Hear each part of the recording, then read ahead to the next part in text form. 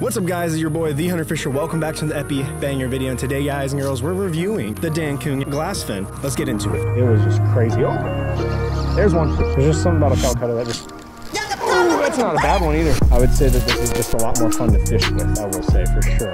All right, guys, I hope you guys are excited, but I'm gonna give you guys my opinion on this Dankung Glassfin. So this rod's had like a lot of speculation. I've heard a lot of people asking questions about it because essentially it's a glass rod for a decently budget price. I believe it retails around 140 bucks or so. And um, so far I've been using it for about two to three months. And I gotta say, it's actually not too bad. I'm not gonna tell you guys all at once. I'm actually gonna tell you as I'm fishing with it today because I got a few hours just to get out and fish with one of my buddies, Augie over here and we're gonna see how it performs. I'm gonna talk about what lures I like to use on it, what I like about it, what I don't like about it. If you guys wanna check it out, there will be a link to Dankung down in the description below. If you have any questions about it, I'll answer them in the comments, but let's get on with the video. All right, guys, what's up? We are currently at the second spot of the day. We had to like literally, I walked into my spot and it was completely grassed out, matted out. So what we're gonna do is I'm here at the second spot. My buddy's pulling up right now, but I'm just give you guys just a overall opinion really quick of this rod, just to give you guys my first initial thoughts on it. So just to give you guys some specs on this rod too, um, it is it's four foot seven. It's rated for one to five grams. I'm gonna test that out today actually fully. It, the line class is two to five pound. It's rated at an ultralight power, and it's I believe it's a three piece rod. So, and it actually comes in a little cloth bag. I don't really show it on video because I never use the cloth bag to be honest with you. If you guys are looking for a rod to take on your next like trial fishing trip, it doesn't seem like a too bad of an option. There's not really a whole lot of glass rod options that are relatively well priced available in the United States. So, but this is actually available to ship to the United States. So that's pretty cool about it so far. I've actually been using mainly braid with this setup so far, just because I prefer the sense of braid and stuff. I'm actually not even using it for freshwater trout right now because there is none in my area. I'm from Florida, so it's a little bit different situation, but I use it a lot for brim and panfish, uh, just mainly because it feels so great. There's a lot of backbone in it, but uh, I'm just gonna go ahead and fish and you guys can tell me your thoughts as you guys watch. So let's get on the water. It's so funny, I'm using this reel for bluegill now, and I was just catching barramundi on it like last week. All right, let's see what's gonna bite today. Water doesn't look too dirty, which is good.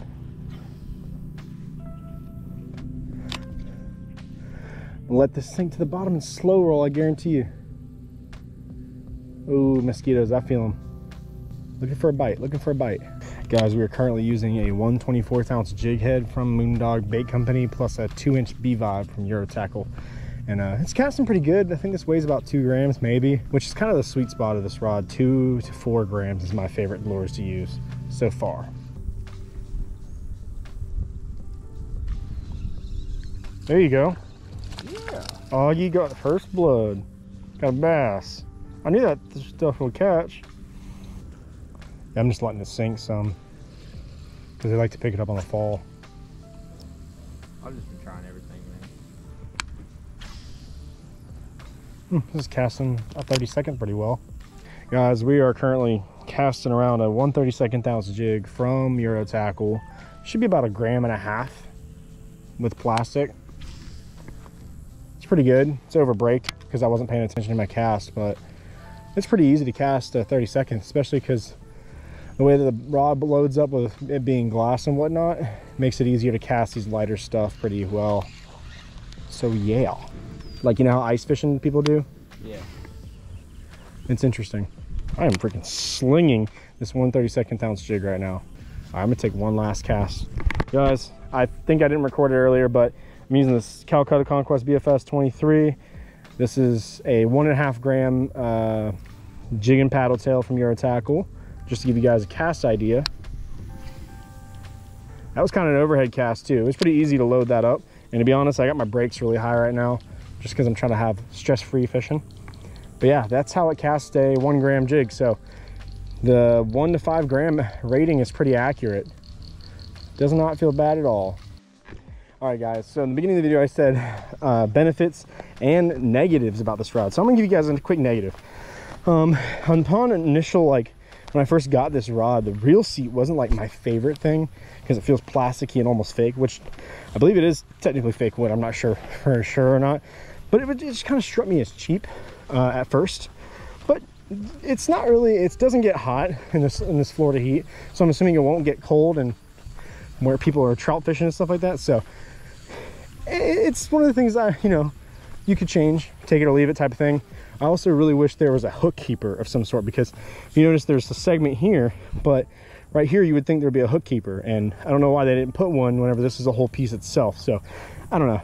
Just thought I'd point that out because I feel like personally I would prefer to have a hook keeper instead of putting it on the guide legs or on my reel. So yeah, it's up to whoever whose personal decision it is.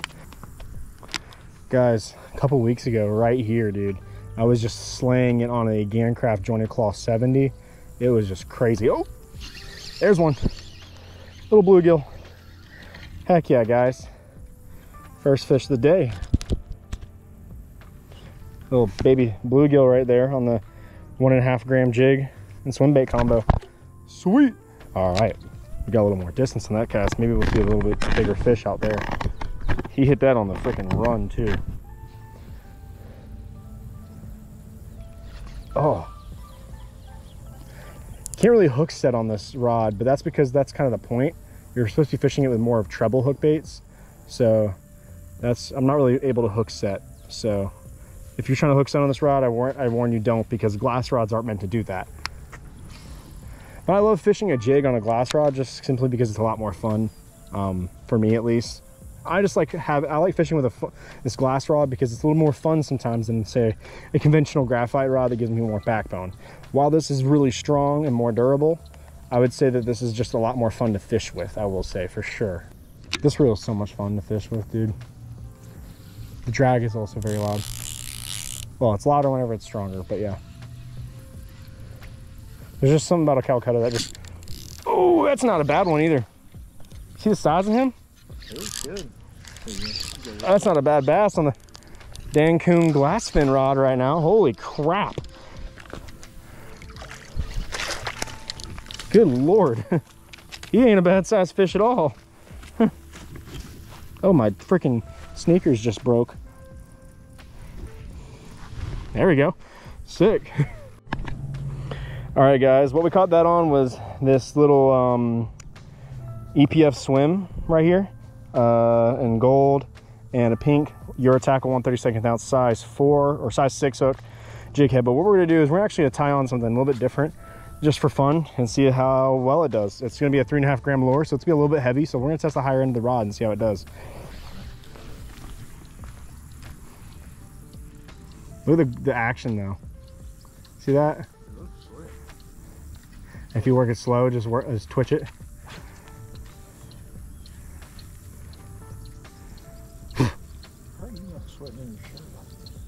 I am. this rod does feel a little overpowered with this lure. I will say. Like it just bends a little too much under it, but I think that's fine. Because it's kind of like, this is on the higher end of the rod anyways. We're using like two and a half gram, three and a half gram minnows with this rod really. Or like one to two gram spoons, it's really good for it feels like. If I had a spoon right now, that was like 1 16th ounce, dude. What's nice about this rod low key though is the ability to like backhand cast and take my time to like accurately cast where I want to with just a light flick. That's kind of like the whole point of this rod is to be able to lightly cast it. Essentially to give you guys an idea. This is a small cut I got to cast in. So we're just gonna, oh, well that was a horrible cast for me because now I'm stuck on grass or not anymore. But y'all got the point.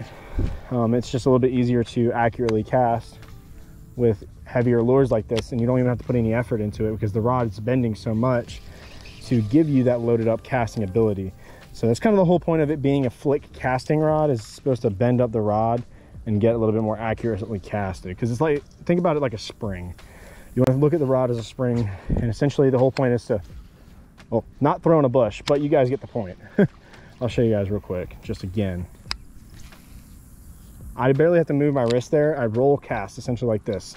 And that's what the whole point of this rod is to be is to just roll cast into those tight cuts. And, that, and that's what really makes this rod a fun rod to fish with. I take it to the public park that's near my house sometimes and it's just fun to go catch some bluegill on this rod on like a rooster tail because essentially i can essentially duck in and out of trees and i don't have to worry about you know if my rod's gonna get stuck in the tree above me or anything because this thing's only four foot seven and it's nice to load up because it's a fiberglass rod this thing's working a glide bait pretty well too, but I'm probably have to put the glide bait, glide bait away because it ain't getting bit like it was a couple weeks ago. But I've been wanting to catch more fish on this thing because it's a really fun glide bait to fish. If you guys can see it in the water, the action is just insane. See, that's super easy to like underhand cast. Like literally, don't have to reach behind me to cast it. And that's kind of the fun part about this rod. Guys, currently we're fishing the Duo TetraWorks po Poco Poco. It's two grams. It casts pretty well on this little rod. And honestly, this rod has like a good progressive fast action to it. So it's actually relatively easier to work this popper than I thought originally when I first started casting it around. So, I mean, you can even cast things like top waters on this rod and still have like relatively good control on the action. Like I'm able to walk it like this, like a spook style bait. Like I'm able to walk the dog with it and still like relatively have good action on it. But right now I'm using straight braid, which don't ever do that guys, because uh, that's stupid. Don't do what I do. But I didn't feel like tying up a leader like guys just like working it right here i can walk the dog like no problem oh apparently walking the dog's what they wanted. Dude what is it with me catching like decent fish? Is that the same freaking bass? Ooh, i should have brought up freaking pliers. This is gonna be interesting guys. Well on the poco poco there we go guys. Let me take a picture of that. All right, guys, I'm gonna try to figure out how to unhook this fish, but well, apparently the rod is pretty good with top water treble hook baits.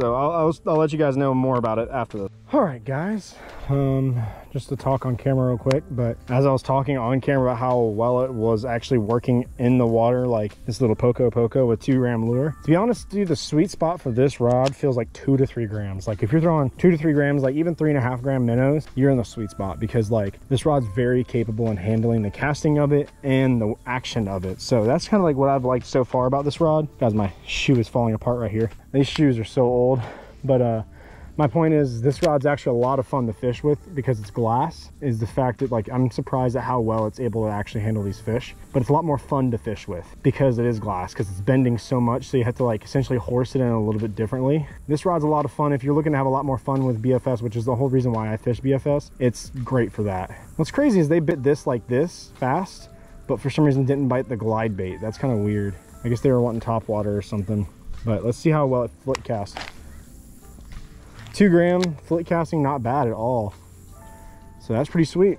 So far i'm really liking the rod. I'm gonna say thank you Dankung for sending it to me to review. It's taking me a while to actually review on my channel just because i had a lot of things stacked up and to do.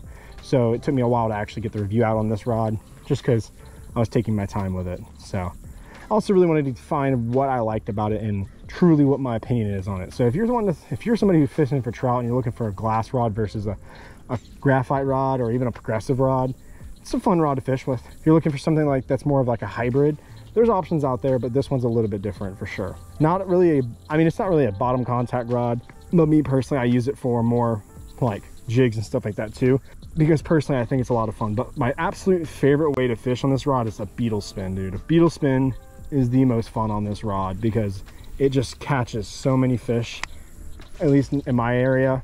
And it's just so consistent to fish on and a lot of fun to fish with.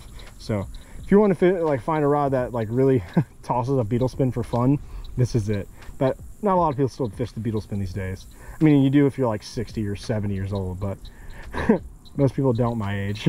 What's up, y'all? This is the end of the video, and uh, I'm editing it right now. I realized I never filmed an intro while I was out fishing that day. That was the video review for the Dankung Glassfin Trout Flick Casting, whatever kind of rod you want to call it. I also want to apologize in the beginning of the video. My mic was rickety. I didn't realize, but it had broken during that video, and I didn't realize until the next time I wanted to go record a video, and my little mic up here had actually fallen off.